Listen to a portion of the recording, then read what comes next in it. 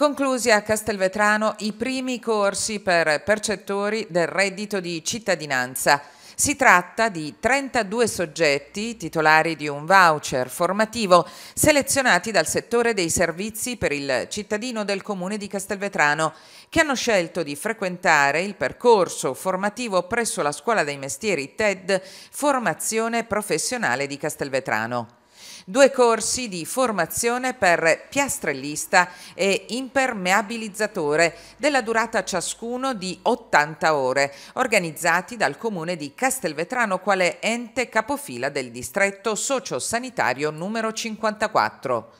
L'iniziativa mira a sostenere le opportunità di possibile ricollocamento lavorativo dei percettori del reddito, dichiara Enzo Alfano, sindaco di Castelvetrano, e rappresenta una prima concreta azione posta in essere nel territorio della Valle del Belice. Risultato reso possibile dal prezioso lavoro messo in piedi dal responsabile del settore servizi per il cittadino, dottore Marcello Caradonna, e dal gruppo di lavoro che ha consentito di raggiungere un primo obiettivo sociale formativo sul territorio.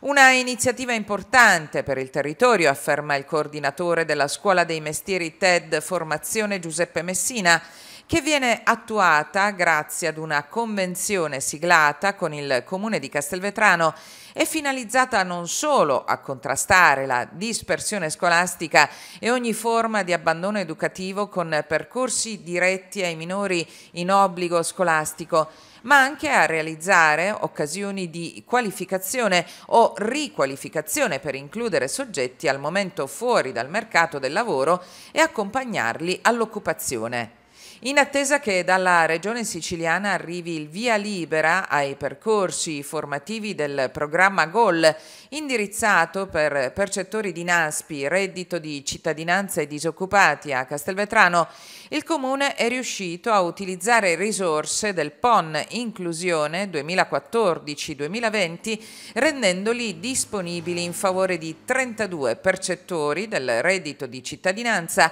attivando una misura prevista dal Piano Nazionale PON Inclusione, scongiurando così la perdita dello stanziamento.